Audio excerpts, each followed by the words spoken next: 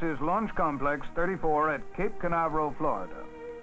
The size and complexity of the launch facilities for the National Aeronautics and Space Administration space program can best be explained by the man responsible for their design, construction, and operation, Dr. Kurt H. Debus, Director of the National Aeronautics and Space Administration, Launch Operations Center at Cape Canaveral, Florida.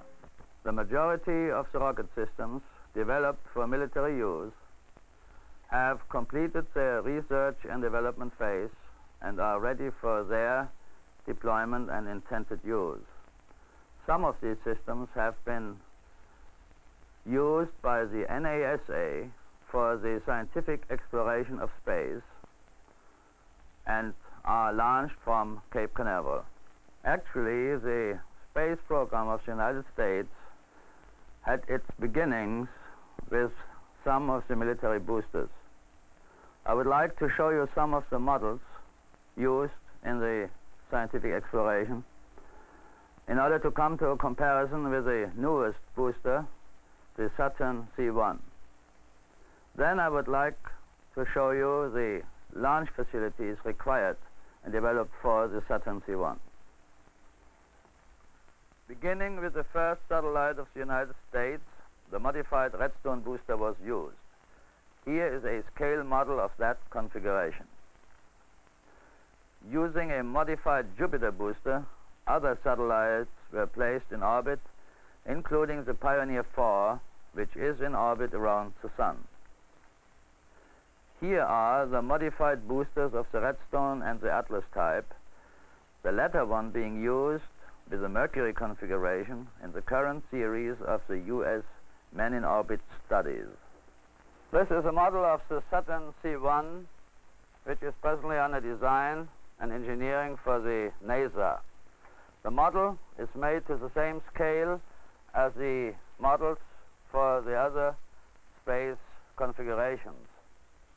This increase in size, which is approximately, as you can see, double the size of the former space configurations, had to be taken into consideration for the concept and the design of the launch facilities. Permit me to use here a model of Launch Complex 34. The main elements of the Saturn C1 complex are the launch pad, which is approximately 120 meters in diameter. In the center is a launch table. 360 meters away is a blockhouse, which is a launch control center or the nerve center of the operations. This particular control center is igloo shaped and contains two floors. The lower floor contains a telemeter station. The upper floor is a control center itself with all panels and instruments vital to the checkout and launch. Other elements of the 40-acre complex are the facilities for storage and automatic fuel transfer of liquid oxygen, liquid hydrogen, fuel, and the transfer lines, as well as a high pressure storage area necessary for the fueling of the space vehicle before launch. The most noticeable element is that of the service tower, which in servicing position straddles the space vehicle. The service tower is used to assemble, service, and shelter the space vehicle during preparation of the rocket for launch. After its job is completed, it is moved under its own power approximately 182 meters back to a parking position. This is considered to be the minimum distance in order to protect the tower from an explosion caused by a space vehicle falling back onto the pad. The design and construction of this tower was a engineering task and challenge of the first order. It is self-propelled, weighs almost 3,000 tons, is built to withstand hurricane winds of 125 knots, and this point is 31 stories above the ground. From here, you can get a good view of the various elements I described to you on the model. Incidentally, in the background are the launch pads used in the other programs at the Cape. Now let's look at Complex 34 and see it in operation. This is the NASA symbol. Its likeness will no doubt appear on vehicles and hardware used in America's manned lunar landing program, which will be launched from a site here at Cape Canaveral, Florida. Beyond this gate is Complex 34, the largest known launching site in the world, and the first built expressly for the peaceful exploration of space. The dome-shaped structure in the foreground is the Launch Control Center with 10,000 square feet of protected floor space on two levels and designed to withstand tremendous blast pressure. The 43-foot diameter spherical tank is for storage of liquid oxygen and in reality is a giant thermos bottle. Electrical, pneumatic, and hydraulic services are provided through lines on this 240-foot high umbilical tower. A three-story pedestal supports and retains the vehicle during checkout and launch operations. The donut-shaped torus ring around the center opening is part of the water deluge system. High-pressure helium is stored in these cylindrical bottles. Helium is used for bubbling the liquid oxygen tanks of the booster to keep the liquid oxygen from forming into layers of different temperatures. The movable service structure is 310 feet high. It is used to erect and check out the vehicle. Ten days and 2,000 miles of water travel brings the Saturn barge to a dock at Cape Canaveral. The docking procedure is the final task of the barge and tug crews. Comparison of booster size can now be made. It is 82 feet long and 21 and one half feet in diameter. At dusk, the Saturn booster is making its last earthbound trip. Destination, Complex 34, some two miles away. The booster will remain on the transporter overnight and be erected the following day. Other stages have remained on the barge overnight. Work begins on their removal. Sheathed in a blue plastic protective covering is the second stage. The water ballast tank and nose cone are also covered for protection against dirt and dust. A slow but steady two-mile trip begins for the transporter crews.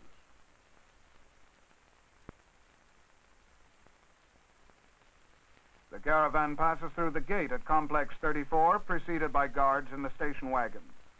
The Saturn service structure dominates the skyline.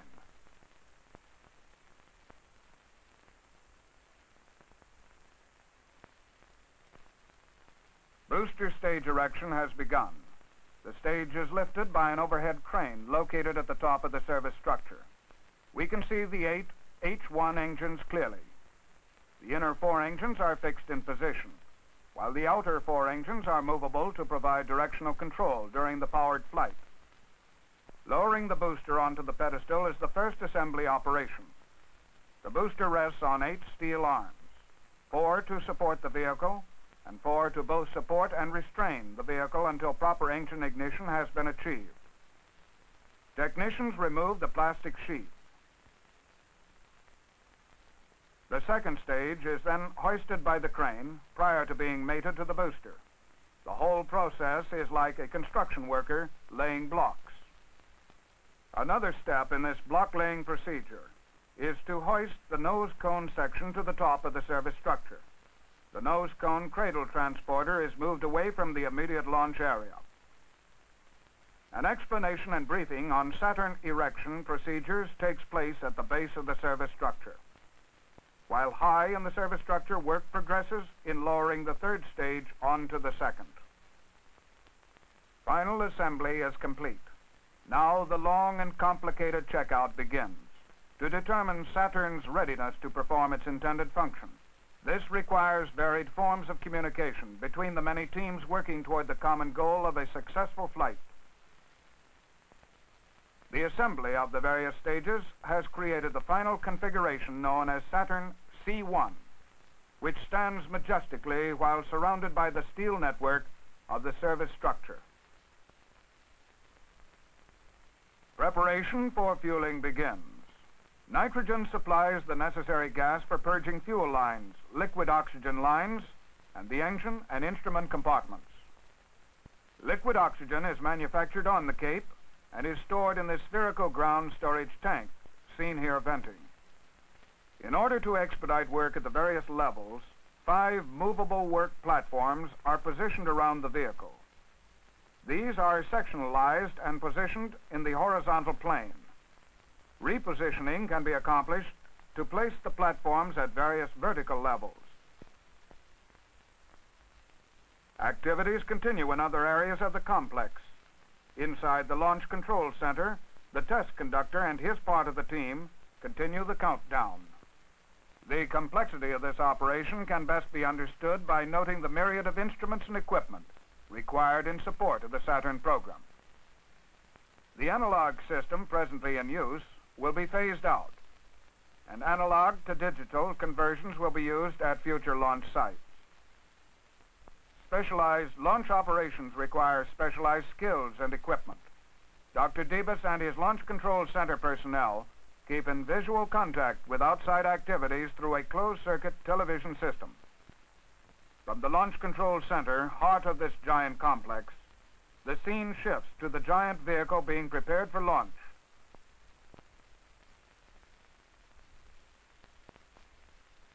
What might appear to be the columns of an ancient civilization is in reality a modern system of supports for the liquid oxygen lines installed above ground, from the storage tank to the vehicle. Expansion loops in the lines allow for rapid expansion and contraction of liquids at extremely low temperatures.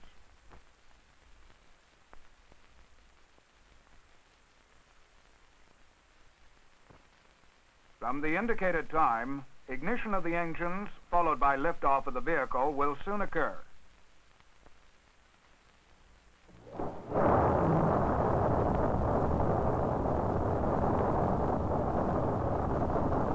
After hold-down arms are retracted to release the vehicle for flight. Tracking cameras located about two miles from the launch area provide coverage from ignition through flight, culminating in the high water experiment. 1,300,000 pounds of thrust, generated by Saturn's eight engines, accelerate the vehicle to the upper atmosphere. Maximum speed attained by the vehicle was 3,700 miles per hour. Inboard engine cutoff came at 110 seconds following launch. Outboard engine cutoff was achieved at 116 seconds after liftoff. The flight was a complete success, with all objectives attained, including determination of the in-flight performance of the eight booster engines, the controlling movements of the four gimbaled engines, engine cutoff and propellant utilization. Also achieved were verification of the airframe structural integrity, a further proving of the launch facilities and ground support equipment. A cloud cover partially obscures the vehicle, but the trailing tail of flame is easily seen entering the rarefied atmosphere where the vapor trail appears. The vehicle was deliberately destroyed at an altitude of 65 miles to release the 95 tons of water, which was carried as ballast in the dummy upper stages. An ice cloud with a diameter of 8 to 10 miles was formed within three seconds. This is the highest ice cloud ever known to have existed. There you have a short glimpse of the size and the complexity of the launch facilities and launch operations as they are required for the launch of a C-1 space vehicle. If we take a view at the total space program that the United States of America plans, it becomes immediately apparent that the launch complexes and operation concepts that you have seen for the Saturn C1 vehicle have severe limitations. For the next generation vehicle, it becomes necessary and mandatory to develop a new launch concept, but this is a story in itself. Some of the problems and the totality of the problems that have to be resolved may become apparent to you if you compare a model Saturn C1 vehicle, as you see it here, with the same scale model of a Saturn C5 vehicle as it will be used in the manned exploration of the moon.